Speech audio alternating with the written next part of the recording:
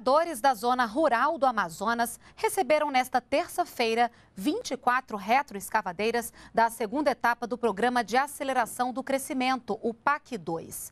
As máquinas vão beneficiar mais de 203 mil moradores, entre eles quase 19 mil agricultores familiares.